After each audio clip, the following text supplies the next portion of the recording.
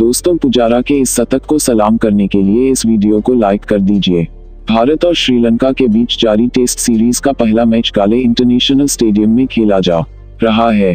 Team India toss जीतकर पहले बल्लेबाजी कर रही है। कप्तान कोहली ने रोहित शर्मा की जगह अभिनव मुकुंद को मौका दिया है। लंच तक भारतीय टीम ने एक विकेट खोकर 115 रन बना लिए थे। टीम इंडिया ने पहले दिन टी ब्रेक तक दो विकेट पर दो सौ बयासी रन बना लिए थे। भारत की तरफ़ से शिखर धवन ने 190 रन बनाए। टी ब्रेक के बाद कप्तान कोहली भी कुछ खास बैटिंग का प्रदर्शन नहीं कर सके और तीन रन बनाकर आउट हो गए। सलामी बल्लेबाज चेते। श्वर पुजारा 109 और अजिंकन रहाणे तेरह बनाकर क्रीज पर मौजूद हैं। भारत का स्कोर तीन विकेट के नुकसान पर 300 रन के पार हो चुका है। पुजारा ने ज़बरदस्त बैटिंग का नज़ारा दिखाते हुए अपने टेस्ट क्रिकेट करियर का बारह बार शतक बनाया। पुजारा ने एक विकेट गिरने के बाद टीम इंडिया को अच्छे से संभाल और शिखर धवन का अच्छा साथ निभाया। पुजारा ने अपने सौ रन बनाने में आठ चौके मारे।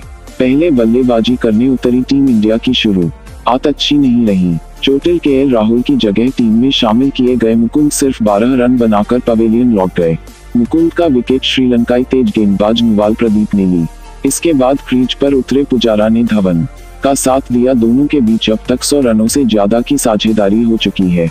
ओपनिंग करने उतरे शिखर धवन ने अपने अच्छे फॉर्म को बरकरार रखते हुए अपना शतक पूरा किया।